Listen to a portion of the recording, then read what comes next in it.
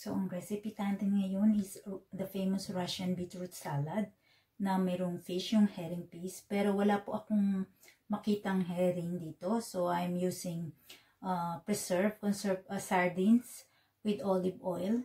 Tapos beetroot na binol ko ng 1 hour. You can also, meron ding nabibiling cook na na uh, beetroot, no? Yung uh, remolacha, tawag dito sa Spanish. Boiled uh, potatoes nag-boiled din ako ng carrots kasama yung balat but I will peel them later. Boiled egg tsaka mayonnaise. So, iuhuli po natin to dahil um, nagmamansya po yung ating yung color is very strong ng beetroot. So, ito balat na ang ating ang ating boiled egg. Kasi binoil ko po to with the no?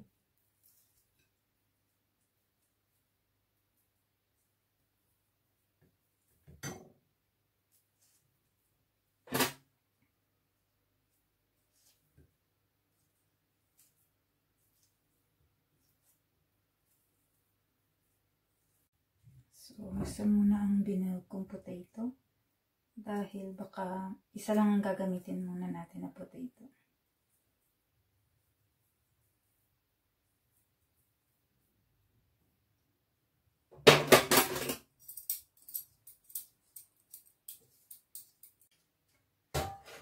I-anuhin po na po natin yung ating potato.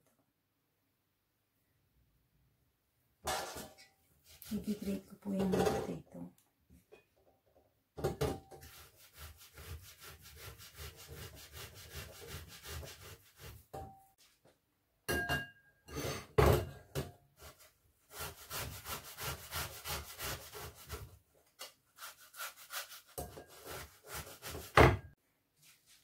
Then yung ating beet, yung ating beetroot.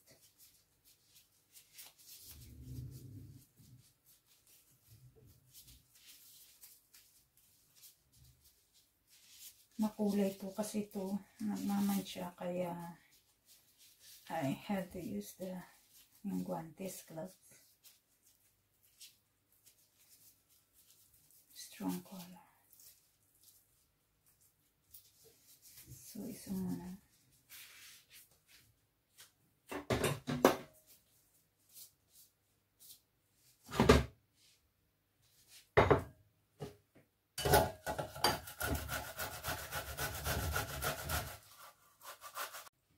ikakat na po natin yung ating fish na maliliit cubes.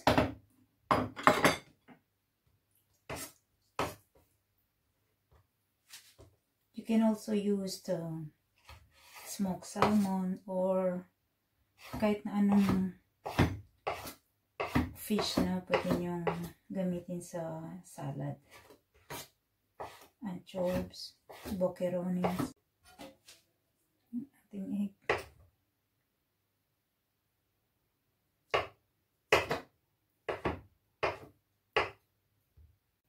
So, i-assemble na po natin yung ating salad. Una tomato, ay potato.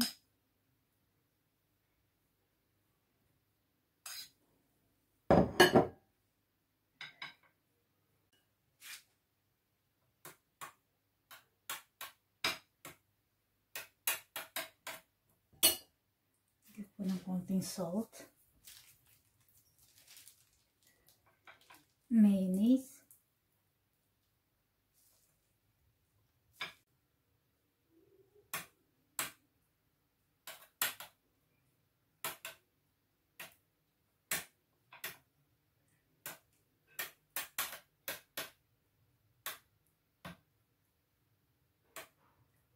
Pwede po kayong maglagay ng onion, sweet onion. Usually may onion po yung ano nito, ingredients. Pero hindi po ako maglalagay ng onion. So, susunod na layer natin is yung ating fish, sardines.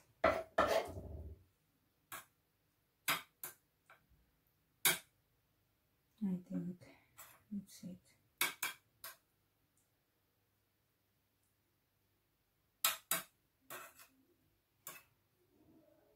So,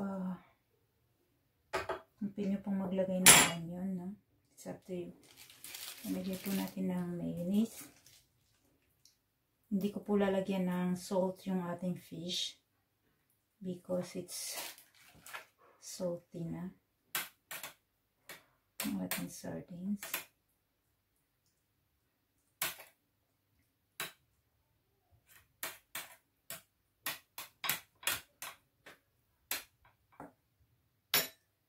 Then ang ating carrots.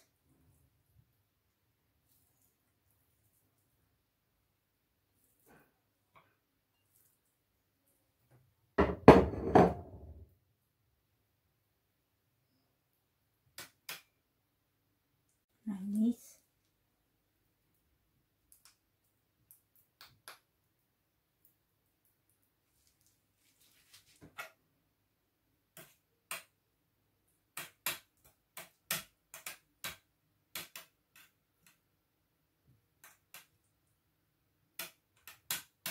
Mga 1 teaspoon ng mayonnaise lang.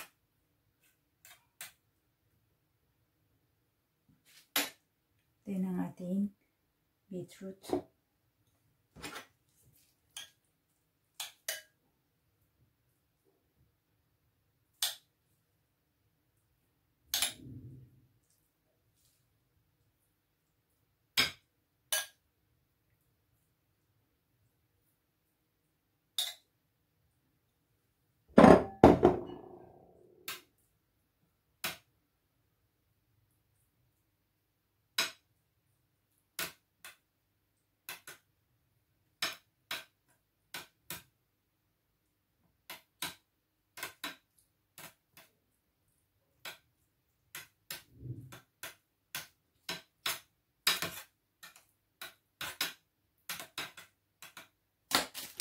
Then mayonnaise. Then,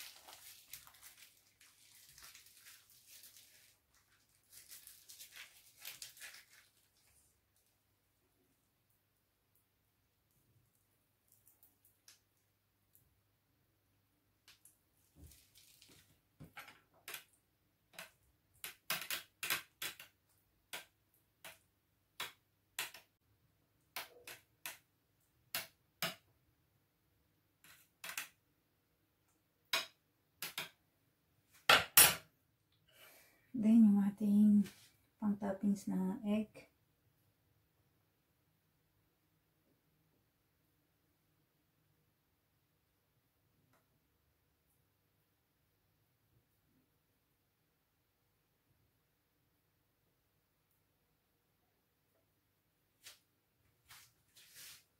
Lagyan natin ng